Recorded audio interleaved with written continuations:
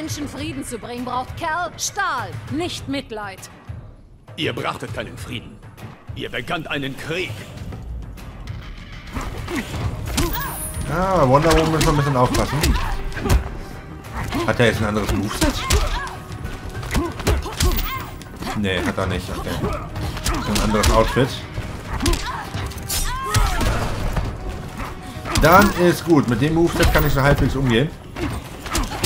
Ist ja auch Batman. Alter! Bleibst du bei der Taktik?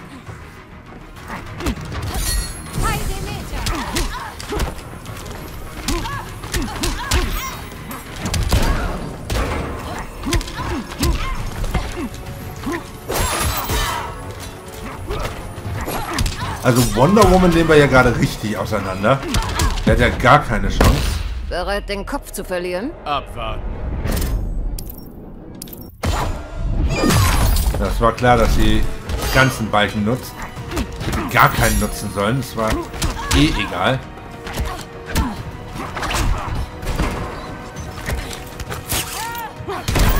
Mich graust es nur ein bisschen vor dem Kampf gegen Superman. Der tatsächlich ähnlich wird wie der gegen Brainiac.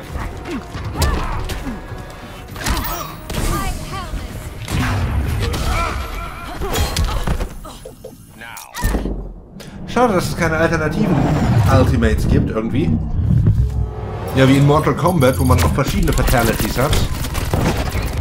Und Brutalities und Beastalities und was es im Laufe der Reihe alles Dein gab. Krieg ist vorbei. Sie haben Kara getötet! Ihr Schweine! Ja, ich höre ja schon auf damit. zu kämpfen fühlte sich wie früher an. Ich schätze, wir wussten beide, dass es so enden würde. Weißt du noch die Nacht, als du mir sagtest, Lois wäre schwanger? Du wusstest es, noch bevor ich etwas sagte. Ist eine schöne Erinnerung. Aus einem anderen Leben. Ich vermisse uns von damals. Ich auch.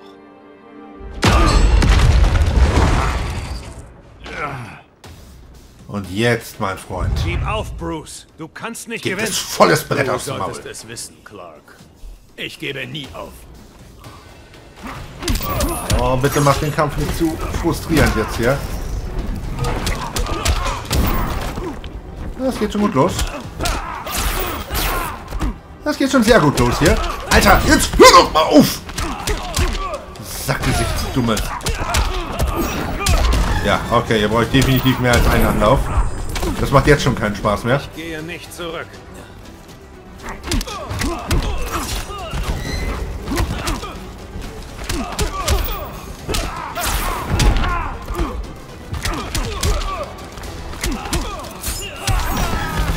Und dabei ist er gar nicht so viel stärker als ich. Vom Schaden entnehmen wir uns nichts, aber die Aggressivität eben gerade in der Aktion, die war natürlich enorm.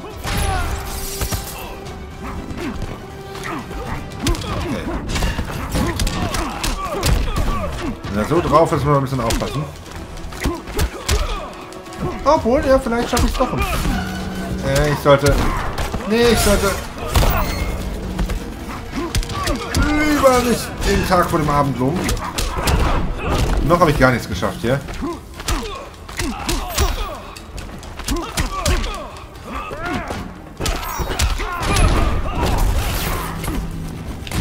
Okay. Wenn der durchgeht, haben wir ihn. Wenn nicht, hat er uns. Du kannst nicht gewinnen. Stimmt. Ich habe verloren. Ich bin tot. Beziehungsweise er kriegt seine ganze Gesundheit wieder. Hat dadurch natürlich jetzt mehr als genug Chancen, um uns diesen letzten Schlag noch zu verpassen. Ja. Aber das ist bei weitem nicht so frustrierend wie die Scheiße, die sie mit Brainiac abgezogen Ich gebe haben. Da. nie auf. Das wäre schön gewesen, wenn das geklappt hätte.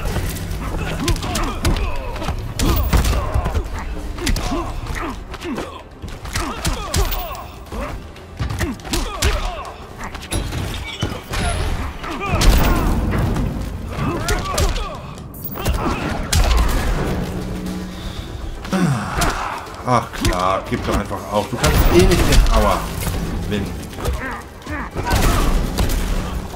Jetzt will das aber wissen hier. Die dumme Sau. So. Frieden wächst nicht aus Vergeltung.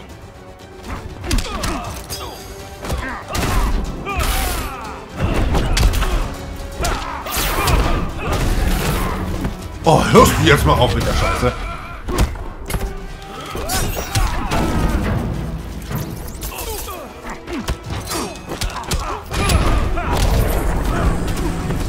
Befürchte, ich verliere wieder. Mehr zurück.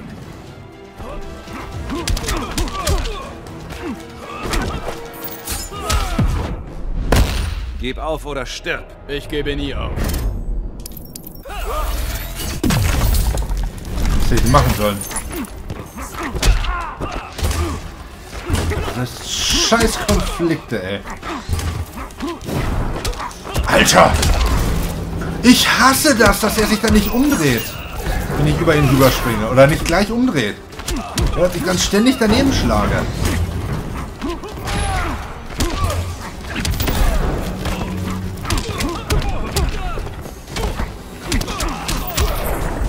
Geht doch.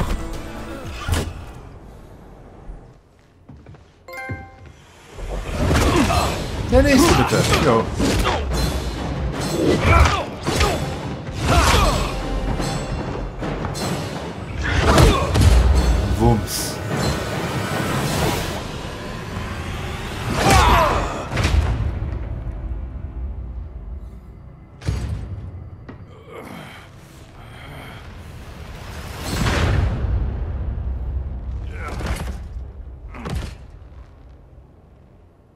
Es konnte nur so enden.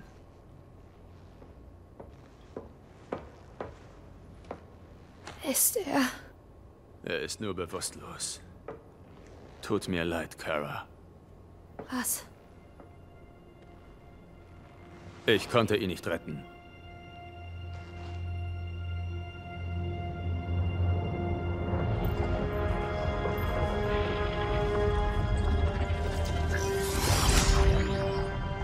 Es ist jetzt sicher.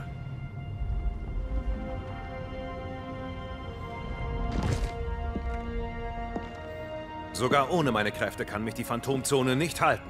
Ich komme zurück. Wir sind bereit.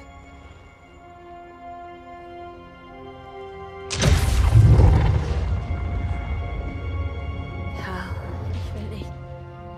Ich wünschte, Wir waren eine Familie, Kara. sind wir noch immer. Eines Tages erkennst du es.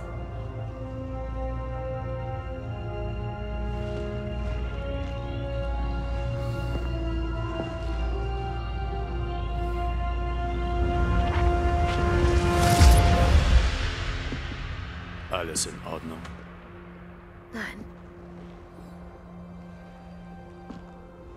Das Symbol gab den Menschen Hoffnung. Jetzt fürchten sie es. Seine Bedeutung hängt von der Person ab, die es trägt.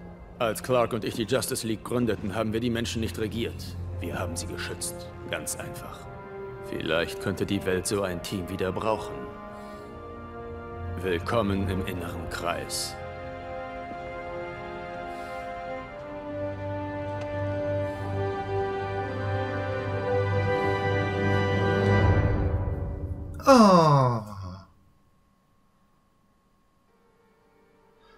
So, jetzt würde mich natürlich...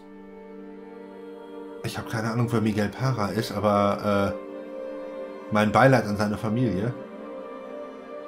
Ähm, jetzt würde mich natürlich schon die quasi die andere Seite der Medaille interessieren. Jetzt wüsste ich schon ganz gerne, was passiert wäre, wenn wir uns für Superman entschieden hätten. Er hätte wahrscheinlich sein Regime wieder aufgebaut.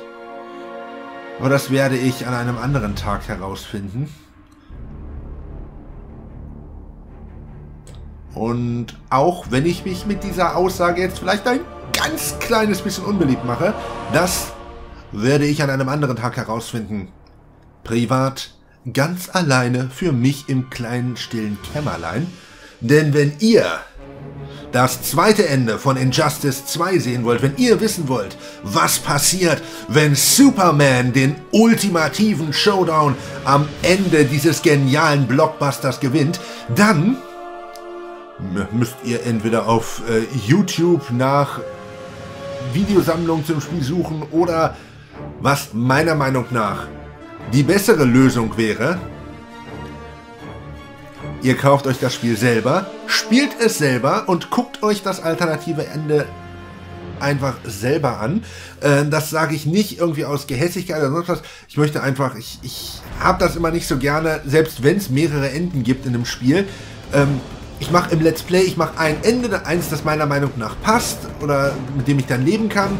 Und dann ist gut und dann belasse ich es dabei. Ich, ich mache das ungern, dass ich dann quasi immer die Zeit zurückspule, das Schicksal verändere und dann die anderen Enden nochmal zeige, außer bei irgendwas, wo es sich wirklich anbietet. Und das ist hier meiner Meinung nach definitiv nicht so. Die Geschichte ist so zu Ende, wie sie jetzt erzählt wurde. Das ist der Abschluss für uns, beziehungsweise für mich hier auf dem Kanal. Ähm, und dabei belasse ich es auch. Ich will euch damit nicht ärgern. Es, ist, es fühlt sich einfach vollständig an, so, auch wenn's, wenn halt ein Teil des Spiels fehlt. Ähm, und äh, ich hoffe einfach mal, dass ihr mit dieser Entscheidung meinerseits leben könnt. War auf jeden Fall eine sehr geile Erfahrung. Hat mir ehrlich gesagt insgesamt, nachdem ich dann erstmal so ein ganz kleines bisschen in die Steuerung, in das Gameplay auch reingekommen bin, hat mir Injustice 2 tatsächlich besser gefallen als der erste Teil. Und ich fand die Story vom ersten Teil schon cool. Ich bin halt echt gespannt, ob es irgendwann dann doch nochmal ein Injustice 3 geben wird. Ich meine, eigentlich die Geschichte ist zu Ende. Man kann nicht mehr großartig was machen, ohne jetzt die gleichen Themen nochmal wieder aufzukauen und quasi alles auf Anfang zu setzen und nochmal wieder die gleiche Geschichte zu erzählen, das muss ja nicht sein. Aber so ein Prügelspiel im DC-Universum, ich meine, wir hatten ja auch schon DC Universe vs. Mortal Kombat, auch als Let's Play hier auf dem Kanal, das war ja auch ganz nett. Einfach ein Prügelspiel im DC-Universum mit einer genialen Story, vielleicht irgendwas nachdem wir ja jetzt den Kampf gegen Superman hatten, mit Lex Luthor involviert, wir hatten jetzt den Kampf gegen Brainiac, vielleicht das nächste Mal irgendwas in Richtung Apocalypse und Darkseid oder so. Nicht unbedingt im Injustice-Stil, dass die Helden sich wieder gegenseitig prügeln, sondern einfach Helden gegen Bösewichter oder irgendwas. Wäre ich dabei, würde ich mir auf jeden Fall kaufen. Würde ich auch wieder als Let's Play hier auf dem Kanal bringen. Ähm, ansonsten muss ich mal gucken, wie es auf dem Kanal weitergeht. Es gibt, wie gesagt, es gibt so einige Superheldengeschichten, die ich ganz gerne in absehbarer Zeit bringen würde. Batman Staffel 2, Guardians of the Galaxy Staffel 1 stehen auf jeden Fall ganz oben auf meiner Liste. Ich kann aber nicht garantieren, dass es jetzt damit weitergeht oder wann das dann hier irgendwann kommt. Ich Jetzt, zum jetzigen Zeitpunkt, wo hier, wo ich hier sitze und das aufnehme, wo hier gerade der Abspann über meinen Bildschirm flimmert, da habe ich mich tatsächlich noch nicht mal entschieden, wann ich dieses Let's Play hier auf dem Kanal überhaupt bringe. Äh, ich habe einfach das Spiel gekauft. Ich habe es jetzt spontan in einer Marathon-Aufnahmesession habe ich es durchgesuchtet. Es hat mir super Spaß gemacht. Ich fand es einfach eine richtig tolle Erfahrung. Ähm, wann ich die mit euch teile, dann muss ich noch mal gucken. Äh, wenn ihr das jetzt hört, wie ich das sage, dann haben wir es ja offensichtlich dann auch. Dann hat das Spiel es auf den Kanal geschafft und wir haben es gemeinsam erlebt und durchgespielt. Sind jetzt am Ende, ja, wie gesagt, ich weiß nicht, wie es weitergeht. Vielleicht mit Telltale. Ich habe auch noch das ein oder andere Rollenspiel, was ich ganz gerne mit euch spielen würde, wo ich mich auch schon lange drauf freue. Ich habe das ein oder andere Strategiespiel, was ich gerne spielen würde. Ähm, The Last of Us hatte ich versprochen im Evil Within 2 Let's Play, dass wir das spielen. Keine Ahnung, ob das zum jetzigen Zeitpunkt schon auf dem Kanal läuft oder ob das vielleicht dann das nächste Projekt hier ist. Jetzt, wo ich jetzt hier gerade sitze, ich warte auch immer noch auf Call of Cthulhu. Angeblich, also laut Internet ist der Erscheinungstermin der 31. Dezember des Jahres 2017. Ich habe aber auch schon Artikel gelesen, wo es hieß, es verzögert sich, es kommt erst irgendwann 2018 raus. Also irgendwie weiß keiner so recht, wann dieses Spiel denn jetzt tatsächlich erscheinen soll. Ich lasse mich überraschen. Vielleicht steht es ja schon auf dem Kanal, vielleicht läuft es schon, vielleicht auch noch nicht. Vielleicht weiß man jetzt inzwischen auch schon Näheres zu dem Zeitpunkt, wo diese Folge dann für euch hier auch tatsächlich veröffentlicht wird. Keine Ahnung, das wird die Zeit alles zeigen. Ich möchte diese Gelegenheit jetzt hier auf jeden Fall nochmal nutzen, um nochmal zu sagen, danke Leute, danke für eure Unterstützung, danke, dass ihr immer ganz fleißig äh, meine Videos guckt, danke, dass ihr auch den einen oder anderen Kommentar hinterlasst. Ich freue mich immer sehr, wenn ich in irgendeiner Art und Weise hier von euch höre. Ja, ich finde euch toll, mir macht das Spaß, diese Let's Plays aufzunehmen. Ich hoffe, euch macht es auch Spaß, diese Let's Plays zu gucken. Obwohl, wenn es euch keinen Spaß machen würde, wenn es euch nicht gefallen würde, dann wärt ihr zum jetzigen Zeitpunkt wahrscheinlich schon gar nicht mehr hier. Daher setze ich das jetzt einfach mal voraus, dass dieser, dieser Spaß, dieses Zusammengehörigkeitsgefühl, dass das hier auf Gegenseitigkeit beruht. Ich wollte noch mal sagen, ich finde das klasse, dass ihr hier seid. Ich ja, ich bin euch einfach sowas von dankbar und ich hoffe, dass wir noch ganz, ganz viele wunderbare Geschichten, ganz, ganz viele super tolle und geniale Spiele hier auf dem Kanal gemeinsam äh, erleben. Ich würde mich da sehr drüber freuen und habe ich auch schon mehrfach gesagt und möchte ich jetzt hier an dieser Stelle nochmal wiederholen. Ich bin jederzeit für irgendwelche Projektvorschläge offen. Ihr habt ein Spiel, von dem ihr denkt, das wäre was für mich. Ihr habt ein Spiel, das ihr unbedingt als Let's Play hier auf dem Kanal sehen wollt. Kein Problem. Schickt mir eine Privatnachricht, teilt mir das irgendwie mit, schreibt es in die Comments, wie auch immer. Ich bin für alles offen. Ich werde alles, was ihr vorschlagt, alles, was ihr irgendwie schreibt, ich werde es mir auf jeden Fall angucken ähm, und da schon mein Möglichstes tun. Ich bin der Rio. Ich klinke mich an dieser Stelle aus, bedanke mich bei euch fürs Zuschauen und hoffe, ihr seid dann auch das nächste Mal wieder mit dabei, wenn es denn dann hier auf dem Kanal wieder heißt Let's Play Better. Bis dahin wünsche ich euch jetzt aber erst einmal eine gute Nacht.